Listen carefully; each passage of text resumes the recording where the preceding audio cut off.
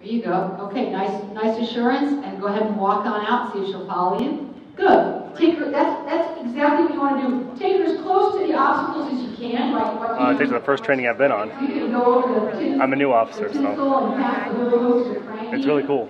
Yeah. It's I, don't And know. out- I wouldn't think you'd be able to find this kind of, get this kind of training doing anything else. So. This is for our local um, first responders, for police and firefighters uh, in Barrington Hills. We have a large horse community here. So we provide a training, a hands-on training